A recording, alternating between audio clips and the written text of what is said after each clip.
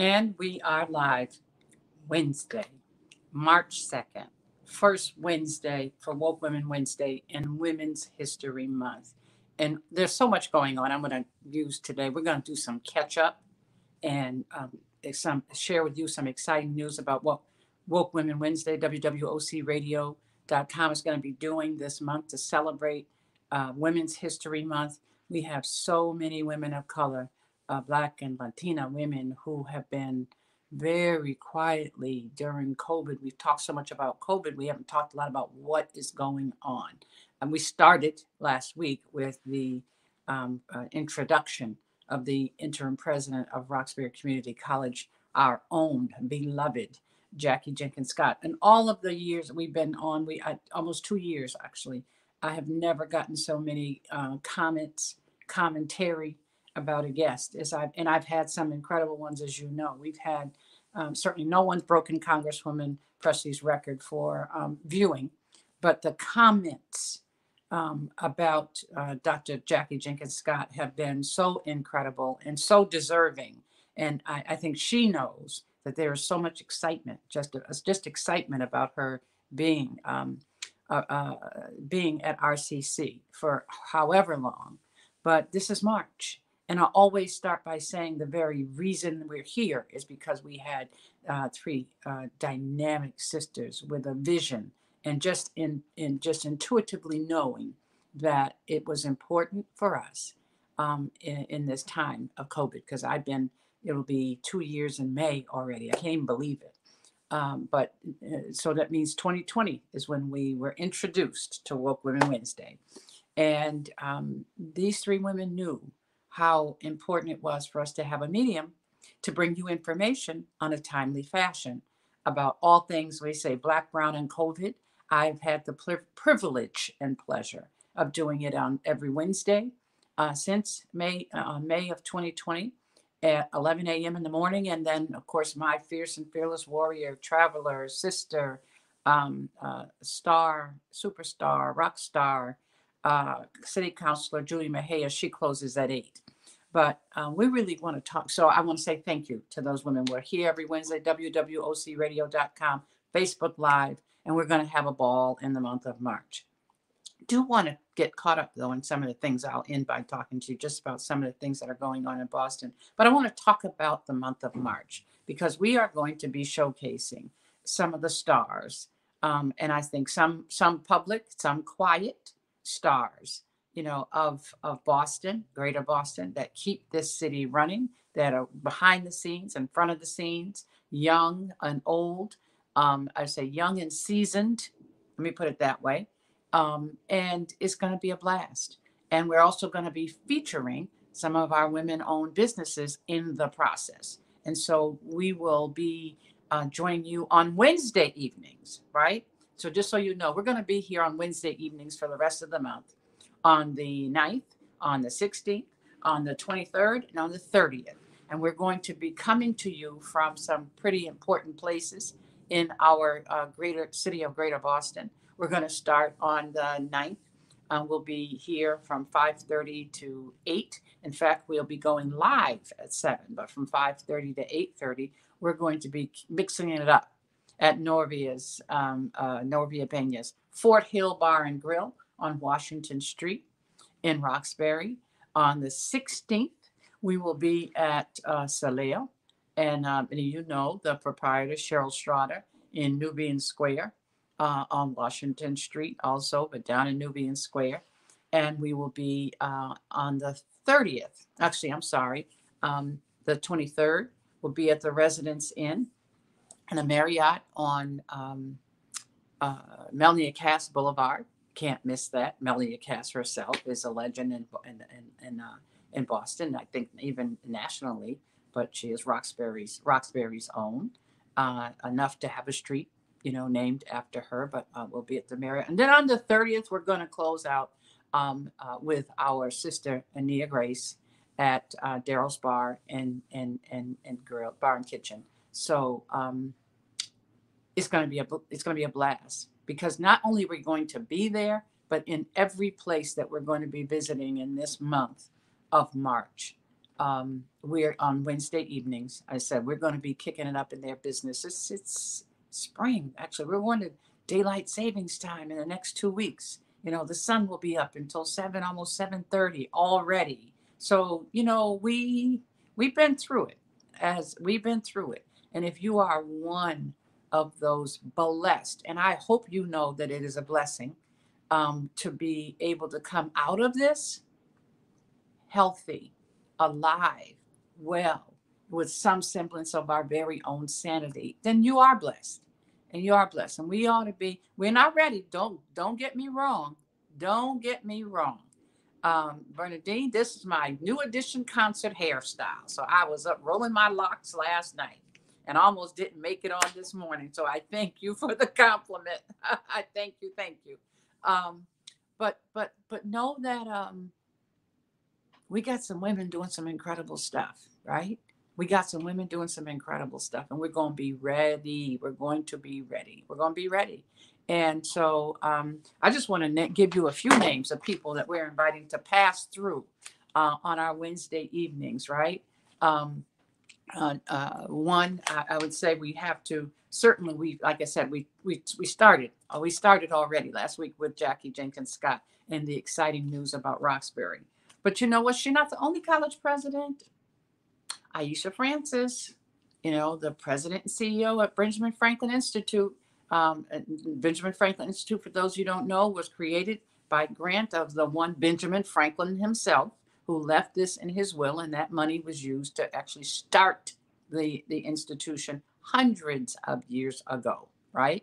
So um, there's a sister in charge, and in fact, in charge of what is a massive plan and process underway to move Benjamin Franklin Institute into Nubian Square from down um, in the Back Bay, the South End Back Bay. Um, so I'm hoping we get to see Aisha in the month of of, uh, of March, and um, I'm going to just run some names. Makeeba McCreary, we're going to be inviting. Um, Akiba is the president of the Commonwealth Fund, one of the uh, many um, of, of, of, of, things, incredible and positive and important things born out of the racial unrest and the racial reckoning that began during COVID.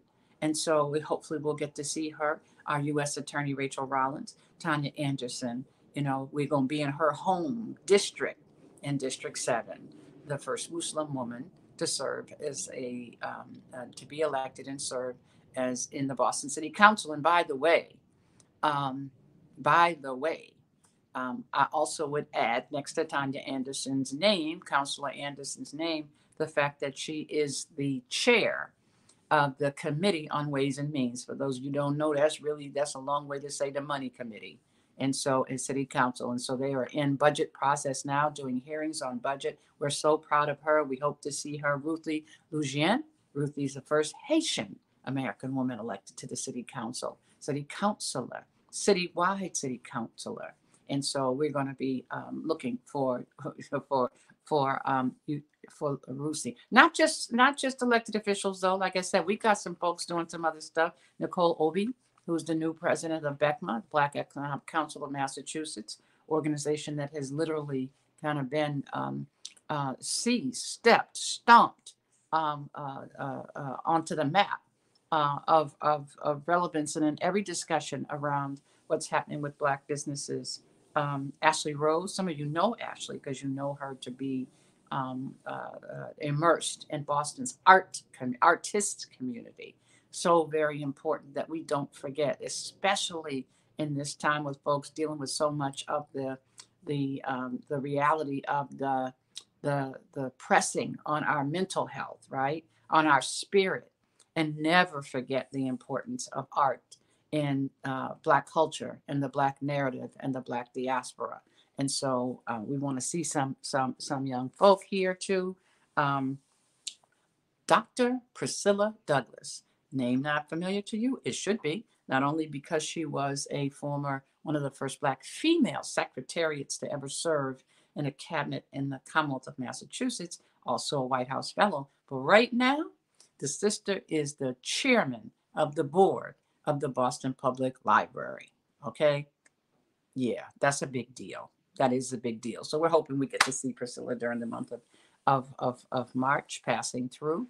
Um, Colette Phillips, you know, this sister has been on on the ground and in that in the fight for such a long time, but um, never has has never stopped never stopped her discussion and her impressing upon us the importance of diversity and inclusion. See some people talk about diversity and that's they just have different people in the mix. Inclusion means something a whole different thing.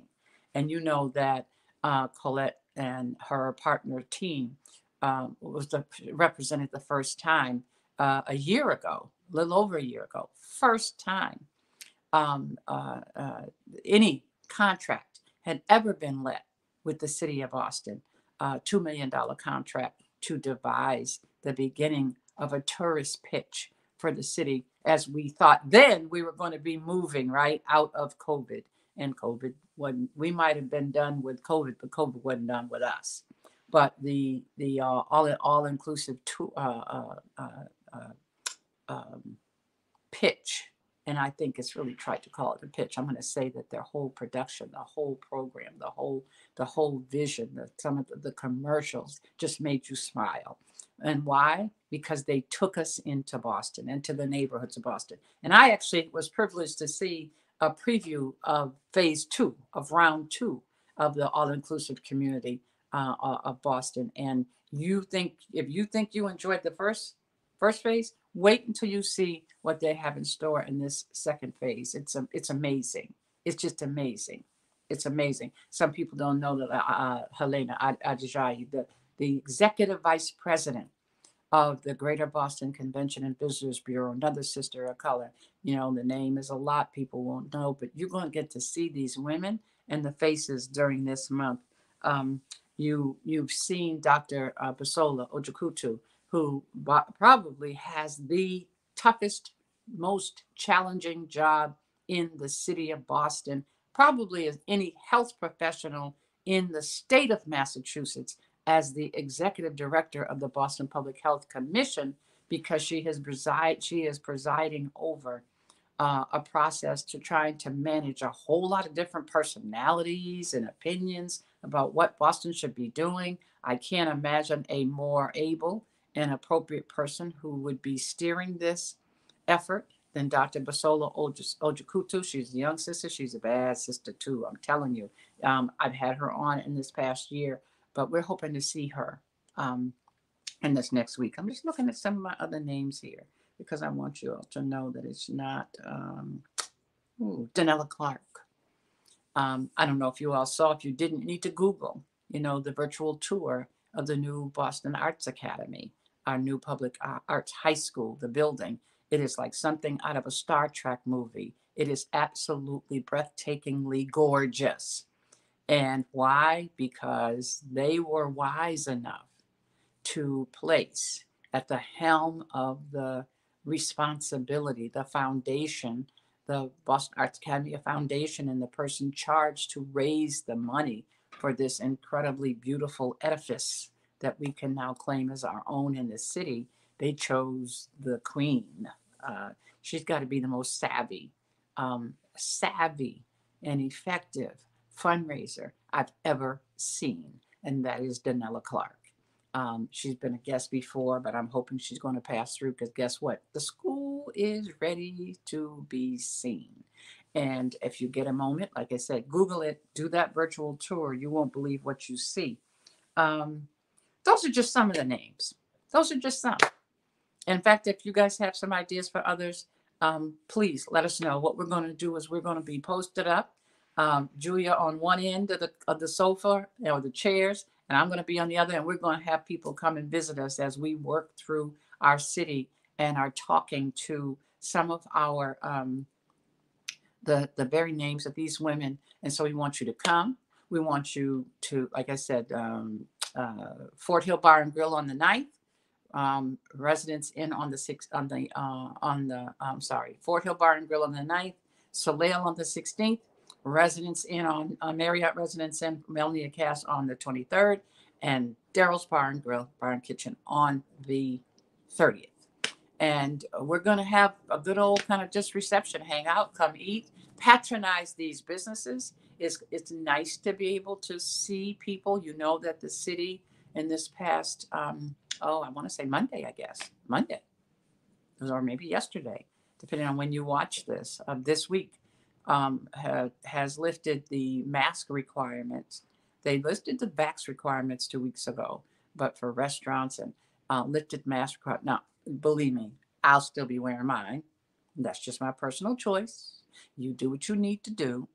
But it'll be nice to be out to see people, right? We're going to see people. We are going to see folks. And I'm excited about that. And I hope you are too.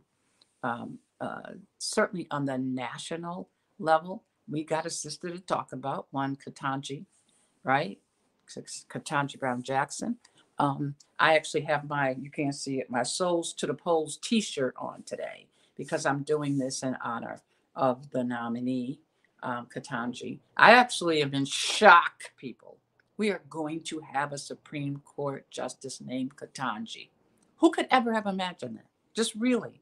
Like I, I, I posted on Facebook, I'm a dreamer, and I had prayed that this day would come Sunday, but I didn't. I didn't see it happening now, and um, it's it's overdue. Don't get me wrong, overdue, long overdue. But I didn't see it happening now. But here we are. We are about to have a Supreme Court justice named Ketanji, right? Ketanji. Imagine that. Imagine that. It's not a Disney movie. This is real. We're about to have a Supreme, a Supreme Court justice, a justice of the Supreme Court of the United States of America named Ketanji. And from everything that we've heard about her, there is few that we could imagine that are more qualified. That's got to be the kicker to the folks who are just upset, just want to figure out a reason, you know, to say this won't work, this can't work. She's probably one of the most qualified nominees they've ever had, you know, ever had nominated to the court. Period. I didn't say blah, blah ever. Harvard undergrad, Harvard Law School, from Miami, right? From from Miami, and um, my excitement about it is that she will be the first public defender to ever sit on the court, right? She literally represented poor people on her kind of in her career on her way to the Circuit Court of Appeals, which is where she sits now. She's been she's been uh, confirmed by the city, by the uh, United States Senate three times already. So you're gonna watch watch that watch those machinations uh, for them to try to figure out how all of a sudden now she is um, uh, uh, in, in, in uh, you know unqualified or or or inappropriate for the court. So I, you know it might be a little bit of a hic hiccup or hitch, but she's she will be she will be confirmed. She will be confirmed and then we'll all celebrate. And then what we'll also be very mindful is that it's going to take more than one voice, one new voice on that court to stop the bleeding and set things right, which is again why I have my Souls to the Polls t shirt on, because yesterday in Texas, we began to see the first um, uh, uh, impact of what happens, of what is happening as a, a result of this full on attack on access to voting not just voting rights, but access to voting and the challenge as to whether the uh, the votes, even when cast, will even will ever will count. And um, we saw it in Texas, like wholesale. The irony is, though, from all the reports and what we've read, is that the um, the challenges that they faced in Texas were felt, were visited upon both white and black Republicans and Democrats. So I wouldn't be surprised if you see some rollback of some what they did, but it's not going to happen soon, right? It's not going to happen soon, and it won't happen soon enough um, for the 2020 election. The other thing that happened and may have gone under the radar from a lot of people who didn't see it, because I talked about her, I think, briefly two weeks ago, because this woman has been on my mind. Um, Pamela Moses, for those of you who don't know Pamela Moses, She's a um, Black Lives Matter activist in, um, ooh, I want to say Tennessee. Um, she's been doing national work too on voting rights. Uh, she actually attended um, part of the of the um, the the rallies for Arbery, Arbery in Brunswick, Georgia, over the last several months during trial. during the trial, the course of the trial, lead up to the trial, the first trial. She um, was uh, a, had a had a record, former felon, former felon, who um, in in the run up to the 21 election um, uh, filed an application, actually sought approval to file an application to reinstate her right to vote. Um, you know, I think in Massachusetts, it's so often on so many levels that we forget or we get spoiled or we just have no idea of what is happening in other parts of the country because things are a little different here. In Massachusetts, you um, you don't lose your right to vote um, uh, when uh, when you're incarcerated, uh, and and and and for those who who um, who who are released from jail or prison, you in Massachusetts you can register, re-register, register immediately. So there's no loss of you're not disenfranchised um, by uh, a run-in um, and serving time, you know, in, in the law. And so um, there's more detail on that. And of course, maybe in another time, in another show, I'll go into a little bit more detail. But the bottom line is because she knew that there was a process in, in Tennessee, she actually did fill out um, an application. Um, went to the clerk's office, the registrar asked them. They told her yes and gave her a form.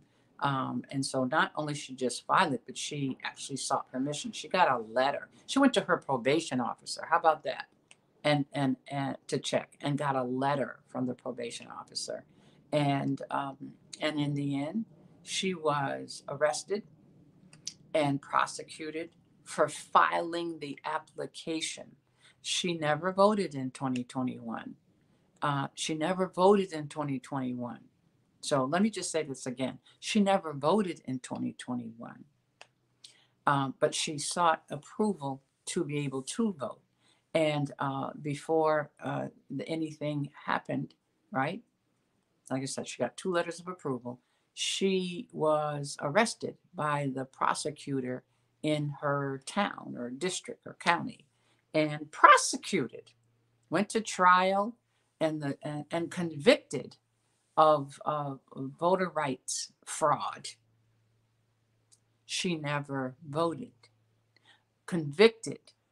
And one of the things that, uh, you know, she, like I said, her, her probation office, the election official, registrar, um, came and testified that they had in and she produced the documentation that they had issued her a letter.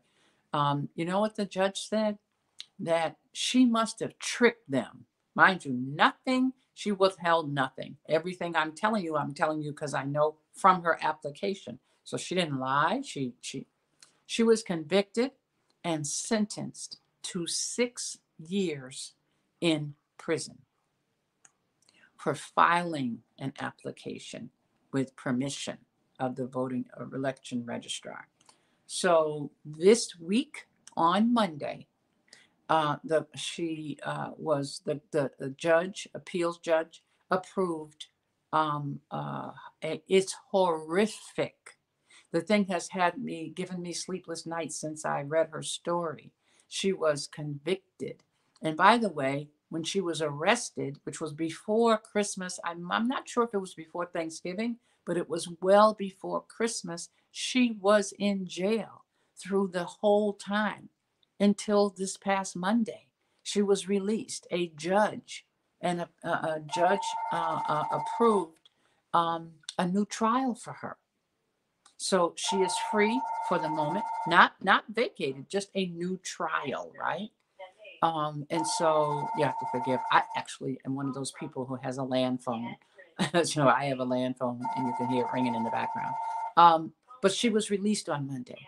And so I think of the stories that I read about the um, uh, uh, conservatives or Republicans in Arizona and Texas, and then the third state, I can't remember, who voted uh, for uh, dead relatives. One one gentleman's wife had died.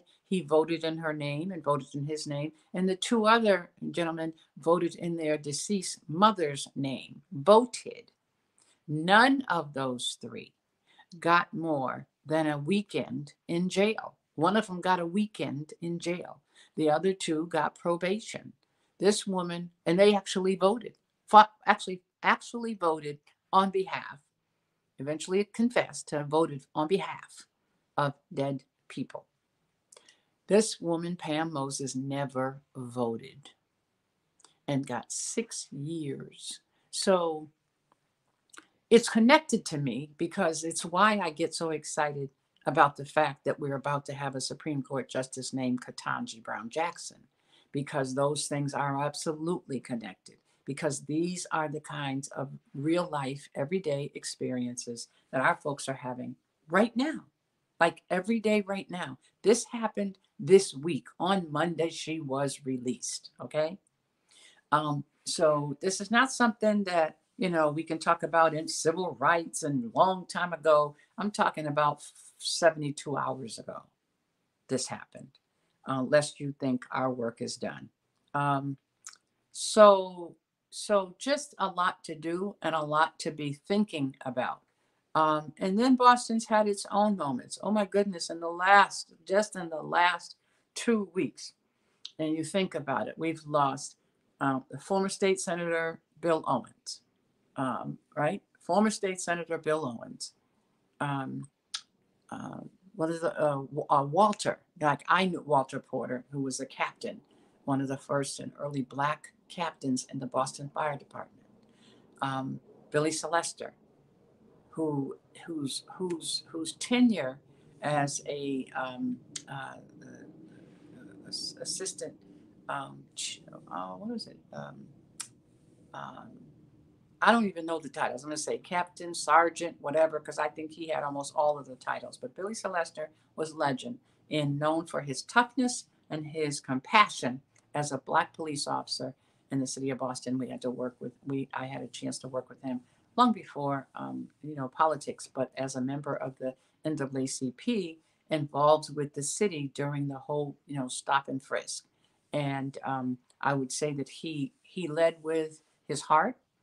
Um, uh, all the passings, all of the passings, but none I think really hit the city um, like that of the news of the passing of the son of Dr. Lisa Owens and Daryl Settles. And so I just want to take my time and take the time, and I thank you all who have been placing in the message and sent me inbox to make. Please make sure you mention. Of course, I would. Um, Daryl Settles, uh, Dr. Lisa Owens, and, and uh, your daughter Taylor. Um, it is so, so, so hard um, to imagine what you must be going through. Um, and I've used the word unimaginable. I saw Dr. Uh, Priscilla Douglas used that word as well, unimaginable. But um, there are no words that would appropriately communicate to to you and your family the pain, the the the prayers, the love, um, and the hurt that we um, are, have for you at this moment as you prepare to bury your son on Friday. Um, if we could take some of it for you, we would. But just know that you know you have our blessings and our condolences, and most important, our prayers. Just just know that. Um, this is Boston. So much is happening, and so much loss. And um, you know, I, I say again, and maybe we'll have somebody come back. I think Dr. Gloria White Hammond was a guest almost a year ago when we thought we were kind of winding down COVID because I thought we needed to hear from someone talk about, you know, dealing with, uh, you know, the, the spirituality and the the the, the medical, um, the the the health reality of the kind of trauma that we've been experiencing, and we have, and we have, and so maybe it's time to come back because um, I can speak for me, never understood before this last two years the relevance and the importance of the rituals of funerals in our community and our society. You know not for black people it's a special but just but just generally um, not being able to do that in the way that we are used to doing that has left an enormous sense of unfinished and unresolved um, uh, um, uh, mourning uh, for for me, always there in the side of my head, uh, in the back of my head, And this last two weeks and all of what we have heard has only reminded me of um, the need for us to be talking about this, right? Um, because I also two weeks ago shared with you the passing of Lauren Sampson, who was one of the senior attorney uh, for the Lawyers Committee for Civil Rights, who who took her own life on the same Sunday as the woman, the former Miss America, um, uh, Miss USA, Chrisette. I can't think of her last name, but Chrisette in New York. Um, on that same day, I think it was the 30th, um, the same day, um, uh, right here in Boston. And so um, it's real. The pain is real. Um, the need to resolve and the mourn and, and the hug and the inability to do what we normally do and the ritual. That's part of what we're losing, what we miss. And that is the hugging, the, the crying together, the touching. You know, we to the extent we've not been able to do it, um, just seems to me like we don't have, we haven't had closure really. And so, um, praying for you, Darryl Settles, praying for you, um, Lisa Owens, Dr. Lisa Owens, for real. Um, just no words, no words. Um, so that's it. I wanted to catch up with you. Um, uh, you know, I'm excited about the uh, woke uh, uh, WWOC uh, radio.com. I'm, I'm, excited about the plan for Women's History Month. Bernadine, as a Black woman business owner, I'm hoping to see you at one or two or all of those sessions because people need to have an opportunity to see the folks that we talk about. Um, Bernadine was one that came in came into our space early because of her work and as a provider, uh, a merchant who um, uh, sells PP, PPE and, and one of the highlights for me uh, in this last 22, 23, actually um, March 4th. So we're two days away from the two year anniversary of the declaration of emergency. Schools were shut down on the 4th, uh, and, and which began this last two years for us, which has really been a blur, right? But it's real.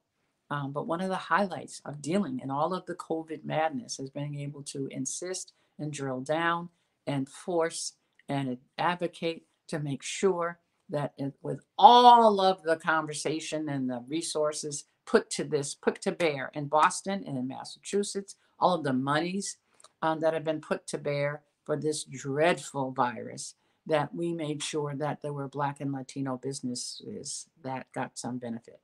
Because uh, as um, uh, Denella Clark, I think, shared with me, last week in the briefing they had for this new uh, equity panel on uh, uh, COVID recovery.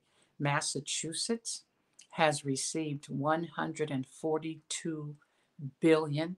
Let me repeat B, not an M, 142 billion dollars since the beginning of COVID, which is probably more money than we received from the federal government in the pre- previous 25 to 30 years. But in two years, we've received that, that level of monies for various kind of COVID related um, uh, uh, costs. And, and the big question, and one that I think we're going to be focusing much of the conversation in April, because in March we're going to do Black Women History. But in April, we're going to get down to that conversation about where the hell is the money. Because there's no way in this earth on God's green earth that you could spend $142 million and we not be able to see it. So, you know, this is my favorite discussion, and that is following the money. So, in April, our focus is going to be on where the heck is it? And whatever is left, where and how we make sure that our, ben- our people, our students, are, you know, benefit from it. So I'm gonna I'm signing off. Um, just wishing you all well. Remember what I say every week: check on your people. And when I say check on your people, I mean FaceTiming, Zooming. The phone calls are not enough anymore because people can tell you anything over the phone. Say I'm good. You got to see them. Look in their eyes because the eyes are the window to the soul. You you know that. I know that, right? And so, you know, don't worry, don't rush you know, when everybody's talking about we got to get, you know, no more masks, no more vaccinations, and all, Mm-mm. They're not really talking to us because I can tell you all you got to do is go on cityofboston.gov, look at and uh, .gov COVID, look at the numbers, and yes, we have communities, we have neighborhoods that are in the high 80th percentile in terms of being fully vaxxed and, and, and getting their testing. But we also have neighborhoods like Mattapan uh, that are still in the 50th percentile, which means that almost half of the adults in that community are still not vaccinated. Now, why is that even a big deal to us? Because that's where the folks live who are, I call them the first responders, the first line of defense. Those are the essential workers. Those are the people who are working in the grocery stores, riding the buses, driving the buses, you know, um, uh, at the nursing homes, taking care of your mama, my mama, right? Um, uh, the orderlies at the hospitals, the, the kitchen staff. That's who they are. And so if you don't think that that's important to you, if you're the kind of person who thinks, because uh, when I'm good, we're all good, then this probably isn't even the right kind of show for you. Because this is about the whole. This is about the whole. That none of us are safe until we're all safe. And so for Roxbury, Dorchester, Mattapan, Hyde Park, and Roslindale, we're not ready to, to turn off the lights and go home. We still have work to do. And so Black Boston COVID 19 Coalition continues to do their work. They'll be at Council Towers, our senior development, on tomorrow up in Eccleston Square. They'll be at the Immigrant Family Services Institute on Friday. And next Wednesday, next Tuesday, we'll be back on the lower Blue Hill Avenue, 366 Blue Hill Avenue at the Muse.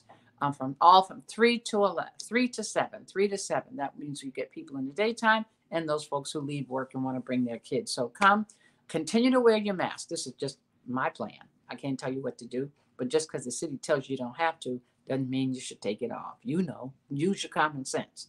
Stuff stuff's not ready around us. We're not ready. Other than that, stay safe, people. Enjoy. Stay safe. The weather's changing. Still be mindful. COVID ain't done with us, even though I'm sure you all are. We all about done with COVID. COVID not done with us. On behalf of WWOC Radio, wishing you the best. See you next week.